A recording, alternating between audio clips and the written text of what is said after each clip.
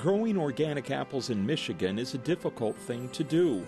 There are three major problems pest control for insects, pest control for diseases, and weed control.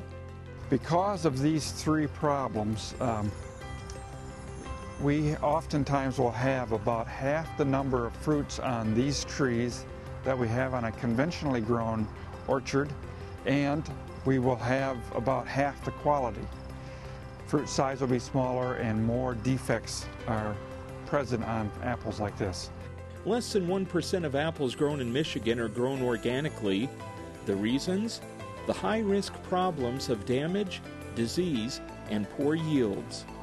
So between the pests and the controlling the weeds, it's a very difficult uh, method of growing fruits in the humid east climates of the United States, which we have here in Michigan. Researchers at Clarksville are using different control methods for weeds, till along the rows, flamethrower weeds, and a mulch system. For pests, pheromone disruption, and new chemistry.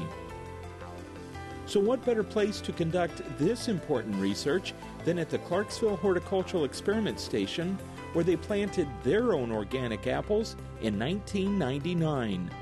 The researchers have received a positive response from Michigan's organic apple growers. The organic growers very much appreciate and support our organic research that we do here at the station. We have five acres of organic apples um, on this station they have uh, gone to legislators and other key individuals to express their support for our work and help us get funding to continue this work. This is a new trend in uh, research. We're trying to do more things organically. It's not easy, but we continue to work on it. They're supportive of it.